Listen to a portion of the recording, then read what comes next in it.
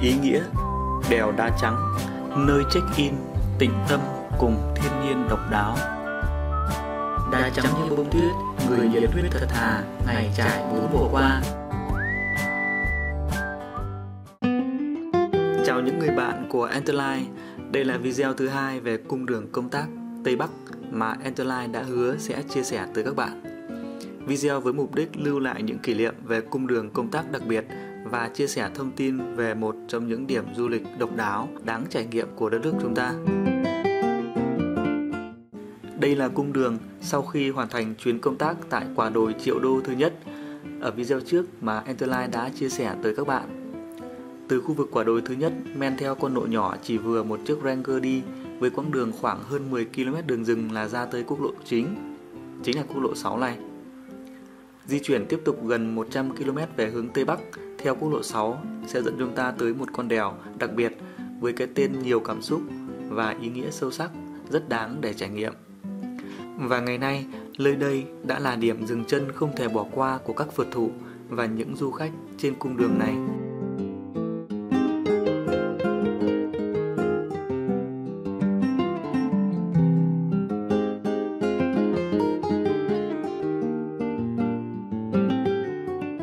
Cung đường này đã một thời là lỗi ám ảnh không nhỏ cho những tài xế lon kinh nghiệm. Đây cũng là cung đường huyết mạch kết nối Tây Bắc với trung tâm. Với đặc điểm phổ biến, hai bên, một bên là vực sâu, một bên là núi đá, cùng với những khúc cua quanh co, tầm nhìn bị hạn chế đặc biệt vào những ngày có sương mù. Rất may mắn, trong hành trình công tác ngày hôm nay, khí hậu thời tiết nơi đây rất tuyệt vời. Trời trong sáng, đường thông thoáng, tương đối thuận tiện cho việc di chuyển và ngắm cảnh của hai bên đường.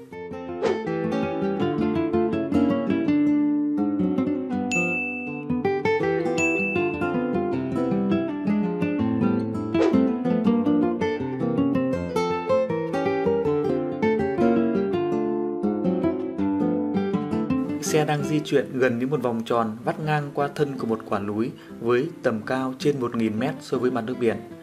Từ cao nhìn xuống, con đường như một con chăn màu trắng khổng lồ vắt mình qua một ngọn núi với màu trắng xanh độc đáo. Ở những ngày có mây thì cung đường cùng ngọn núi tạo lên một khung cảnh huyền ảo tuyệt đẹp như ở cõi tiên huyền diệu. Tới đây chúng ta đã đến điểm dừng chân trên con đèo đặc biệt. Với một bên là vách đá dựng đứng, một bên là hàng quán treo leo bên bờ vực núi đá trắng. Những lều quán nhỏ tuy đơn sơ nhưng rất ấm cúng, yên bình, có điều gì đó rất hòa nhã, nhẹ nhàng, đầy cảm xúc, khó tả. Sau đây Enterline sẽ dừng xe lại và dạo bước trải nghiệm chi tiết điểm dừng chân đặc biệt này.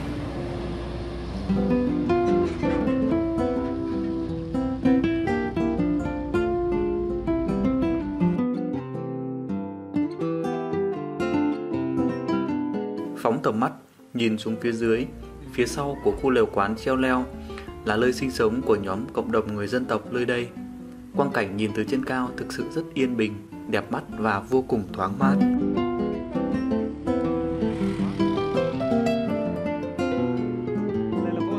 Đèo Đá Trắng hay còn gọi với cái tên đèo Thông Khe nằm trên quốc lộ 6 kết nối Mai Châu với Tân Lạc thuộc Hòa Bình trên cung đường du lịch Mai Châu, Mộc Châu Sơn La.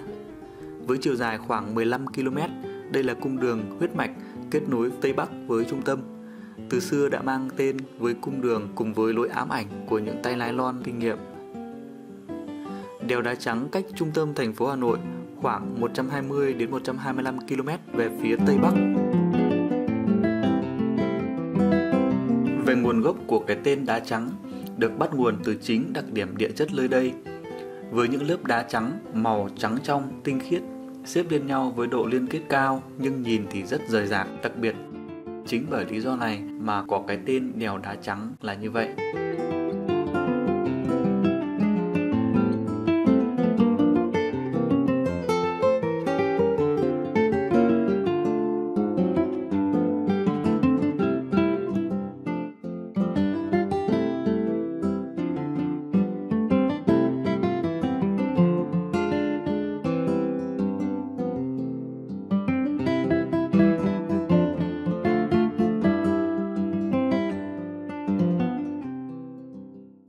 Về ý nghĩa của đèo đá trắng Sau khi tìm hiểu và trao đổi với những người dân sinh sống tại nơi đây thì đèo đá trắng hiện tại mang hai ý nghĩa lớn.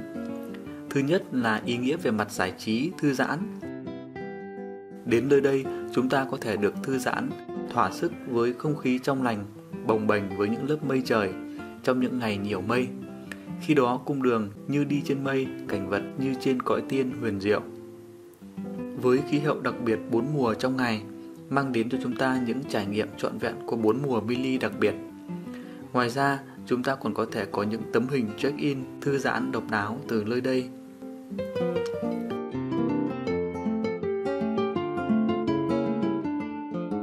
Về ý nghĩa thứ hai là ý nghĩa về mặt tinh thần qua những câu chuyện truyền thuyết.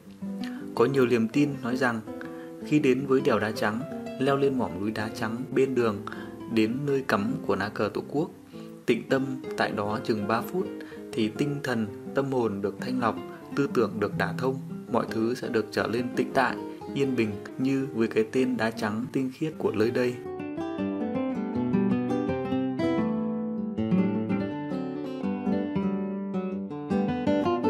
Lớp đá trắng có màu trắng tinh khiết, nhìn xa như những bông tuyết, tạo lên điều đặc biệt về trực quan của nơi đây. Mặc dù đèo đá trắng không hoành tráng như đèo Ô Quỳ Hồ ở Lào Cai, cũng không quá treo leo khúc khuỷu như đèo Mã Pì Lèng trên Hà Giang, nhưng đèo đá trắng cũng mang những điểm độc đáo như đá trắng như bông tuyết, người nhiệt huyết thật thà, ngày trải bốn mùa qua. Đây là ba câu nói đặc biệt nổi tiếng và phổ biến khi đến đèo đá trắng.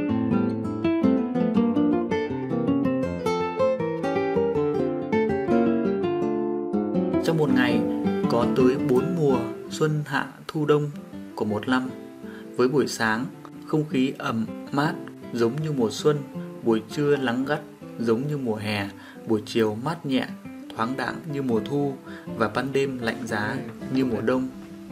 Bên cạnh đó, có một điều đặc biệt là con người nơi đây cũng rất hồn nhiên, chân thật, thân thiện, trong sáng như những viên đá trắng tinh khiết của ngọn núi nơi này. Chính vì vậy mà nơi đây có câu nói Đá trắng như bông tuyết, người nhiệt huyết thật thà, ngày trải bốn mùa qua. Tại điểm dừng chân, ngoài việc có thể check-in những bức ảnh những khoảnh khắc đẹp thì chúng ta có thể thưởng thức những món đơn sơ của nơi đây như cơm lam, thịt nướng, trứng luộc, ốc xào, ngô nướng. Đặc biệt với chai ớt chỉ thiên ngâm muối khô với vị cay lồng ngọt ngọt khó quên.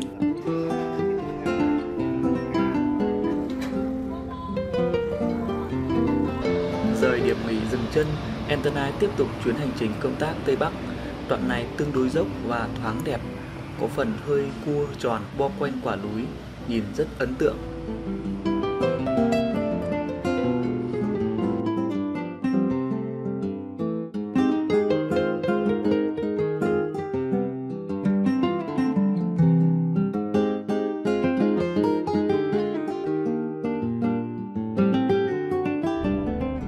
Phía sau của điểm dừng chân là cung đường tương đối quanh co và dốc. Bên tả ly vách đá được gia cố thêm bởi những chiếc lốp ô tô nhằm tránh thiệt hại khi không may các phương tiện có va chạm với vách núi. Tả ly bên gần như hoàn toàn là vực sâu với những đoạn cảnh báo đỏ và hành lang, lan can thép lạnh lẽo cùng với những biển chỉ dẫn khô khan.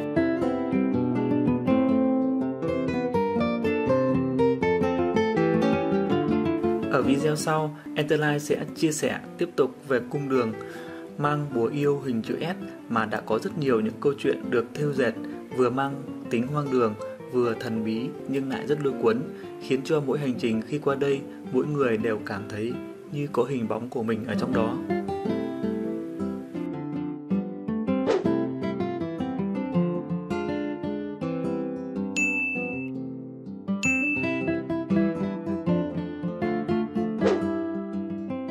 Cảm ơn các bạn đã cùng Enterline trải nghiệm trọn vẹn một trong số những điểm check-in đặc biệt với những ý nghĩa độc đáo.